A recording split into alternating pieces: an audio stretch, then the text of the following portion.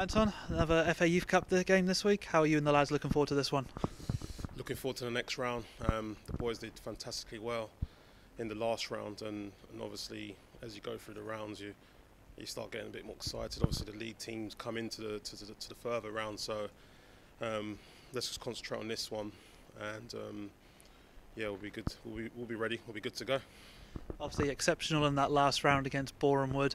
Is a message to try and use that experience that they got last round and try and just emulate it again for the uh, game against Ware? Yeah, we want to try and create that sort of um, match day mode, so intensity, um, the work rate off the ball, the organisation.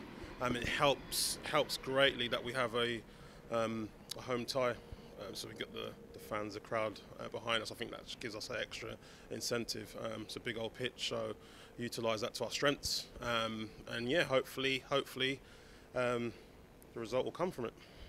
Obviously, you started your preparations today. How, how have they gone? How's the mood in the camp?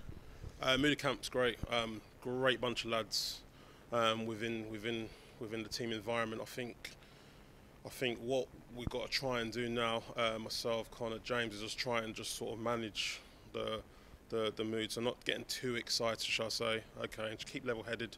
Um, remember that we've got opposition. We've got to respect the opposition.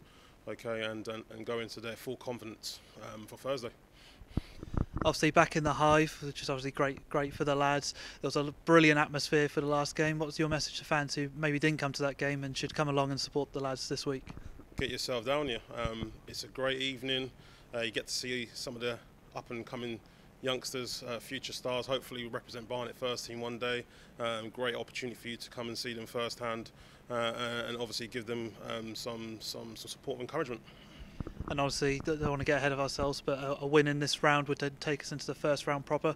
Is that a, a very good uh, incentive for the players to get us through to the next round? Oh, that'd be fantastic for them um, to, to, get into the to the round where the, the, the, big teams, League One, League Two team, come in um, into it. So again, an incentive there for the lads to to not sort of overthink, but just you know what I mean, it's the back of the mind. Okay, do the job here. You know what happens next. You know what comes next. So. Um, yeah, we're all looking forward to it. Anton, thank you for your time. Thank you very much.